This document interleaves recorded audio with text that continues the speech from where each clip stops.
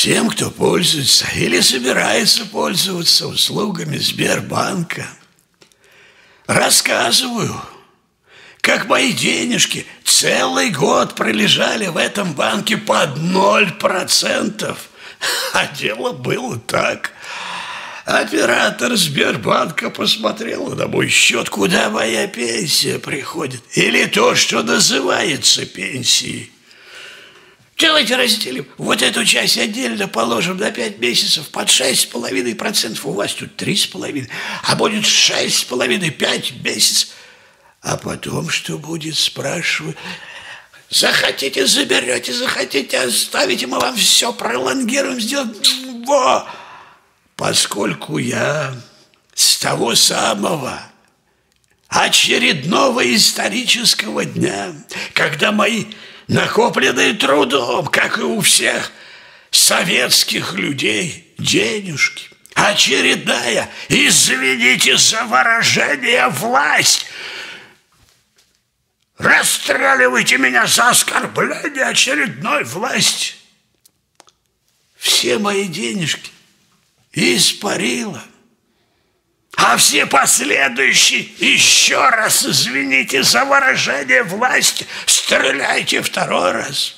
Ни копеечки мне не вернули.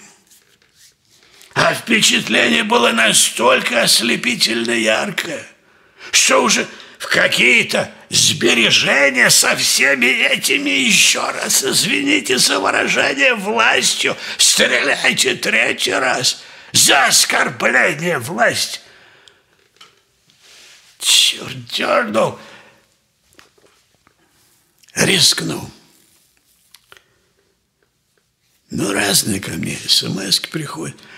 Что примечательно, откуда бы смс не пришла, посмотрел все. Но не Сбербанк. Дзынь! Положи 100 рублей, бонус, пойдешь в магазин. Не надо. Тут же дзынь, положи 100 рублей, пойдешь. Не надо. Третий раз. Пока три раза не нажмешь, не отвяжется. А тут скоро заканчивается ваш договор. Лови удачу, семь процентов. Ну, иду за пенсией. Спрашиваю, тут смс Лови удачу. Лови удачу кончилась. Как кончилась? Написано 31 сегодня 25 Удача, во! Четыре с половиной процента мы вам сейчас вот так сделаем всего. Вот так вот будет. И тут вдруг я узнаю, что мои денежки пролежали в этом банке целый год – под ноль процентов. Пять месяцев по шесть с половиной, а дальше ноль. Господин Греф, наверное, вы наивный мальчик из детского садика, вы не знаете, что такое упущенная выгода. Инфляция. А если вы знаете, объясните мне выдающееся финансовое светило – мотивацию вашего предполагаемого клиента, если он вами не введен в заблуждение, если вы его не обманываете. Какая мотивация у него положить в ваш банк деньги под 0%, то есть причинить самому себе ущерб? Ваша мотивация понятна. А ему-то это зачем? А это значит, что вы, лично вы, господин Греф, сознательно, системно создали для этого вами предполагаемого, ничем перед вашим банком не провинившегося клиента ситуацию, когда он, попадая в эту ситуацию, независимо от причин попадания, причиняет себе ущерб в вашу пользу. Причины могут быть разные. Некомпетентность. Болен человек, временная недееспособность. Я подписывал это счастье без очков. Если для вас, господин Греф, все эти причины являются поводом, способом обокрасть вашего клиента в свою в вашу пользу, значит, вы мошенник.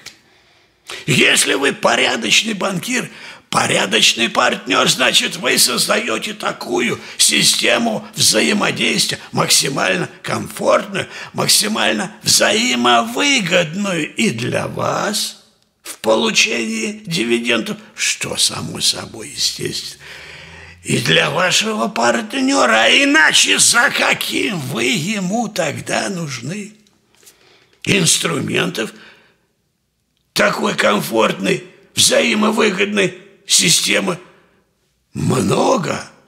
Каких и сколько применить? Это ваша профессиональная квалификация, это ваш профессиональный авторитет, самый простой.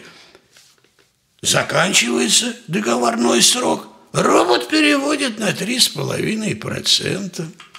Если бы я через пять месяцев пришел бы, забираю деньги, вы бы меня схватили за руки сказали, оставьте, мы дадим вам 3,5%, вряд ли вы предложили бы мне ноль. Любые, господин Греф, ваши и таких, как вы, словесные бумажные узоры, типа «надо было смотреть, что вы подписываете, там строчка мелким почерком». Все это, господа, от лукавого. Был бы многосложный из многих составляющих договор, который, конечно, обслуживает живущие в шикарных особняках – адвокаты. Но в моем-то случае, господин Греф, все настолько элементарно. Что мне, крепостному рабу в своей стране, не то чтобы дать в рожу, слова сказать не имею права. Посадите.